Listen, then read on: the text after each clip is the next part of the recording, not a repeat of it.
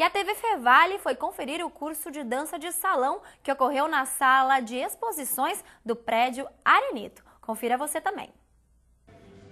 O curso teve duração de seis dias e um total de 12 horas. A dança de salão atende diversas idades e é uma boa opção para pessoas que querem se aprofundar nos mais variados ritmos musicais.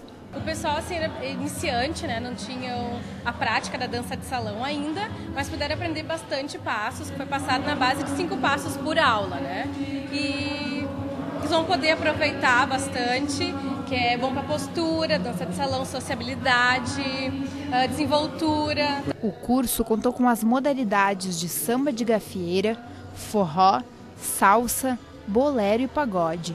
Variedade que agradou os participantes. Muito bom também. Lógico que eu não aprendi tudo ainda, vou ter que praticar mais, mas está muito bom. A dança de salão é procurada para competições ou entretenimento e está na lista das favoritas dos brasileiros.